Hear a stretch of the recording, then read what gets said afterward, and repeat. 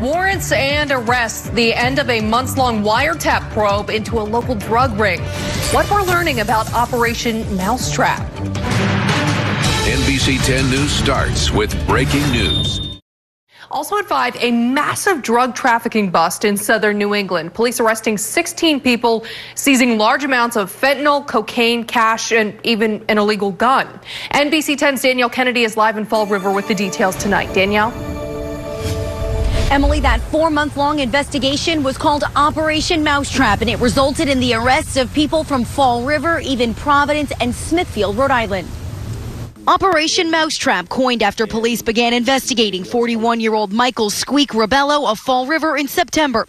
Police say Rebello trafficked large amounts of fentanyl into the Fall River area. After an extensive and thorough investigation into the organization, Investigators deemed it was necessary to begin intercepting the phone calls and text messages of members of the organization. Investigators say that wiretap led them to Rebello's alleged top drug runner, 33 year old Daniel Carrera of Fall River, and his two main alleged fentanyl suppliers, both from Rhode Island. Two men from Providence and one from Smithfield were arrested. While monitoring the phone lines of the suspected drug suppliers, investigators identified several other fentanyl traffickers in the Fall River area.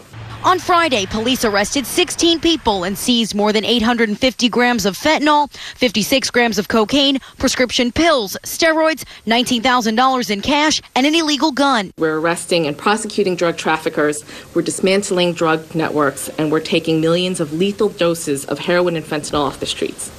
Bristol County District Attorney Thomas Quinn says fentanyl has led to an increase in fatal overdoses in the last five years in Bristol County, with about 194 so far this year. These types of investigations are critical to continue to put pressure on drug dealers for peddling death on our streets.